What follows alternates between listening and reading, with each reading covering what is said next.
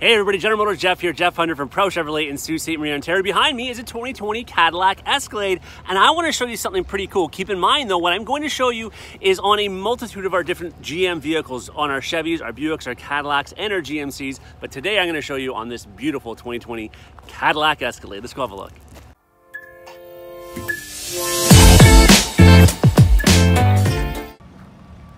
So keep in mind before I go too far with this cool tip that this works on a multitude again of our General Motors vehicles, our crew cab trucks, our SUVs, our double cab trucks, and so on and so forth, all right? If it has the setting in place, and I'll show you where it is. Now, it's summertime, it's hot out, right? I wanna cool this vehicle down as soon as possible. It's got the black leather in the inside, it's gonna be hot. Now, of course, I can remote start it and that'll get things going to cool it down.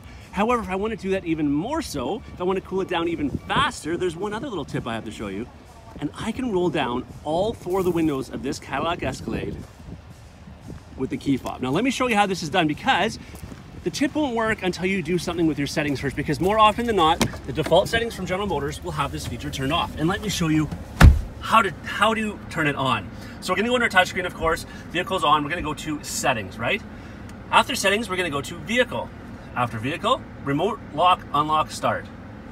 Remote window operation. I'm gonna hit that, See how it's off? I'm gonna turn it on. All right, now, this won't work when the vehicle has the key, like it's running because I actually started it, not with the remote start. So I'm gonna shut it off. Okay, vehicle's off. We're gonna head outside. All right, now check this out. This is so cool. Here's the key fob, right? You're gonna hit the unlock button once. You're gonna hit it again and hold it. Watch this. Check that out. How cool is that? Literally cool because we want to cool this thing down. Anyways, that's my little tip for today. Remote window operation. Cheers, everyone.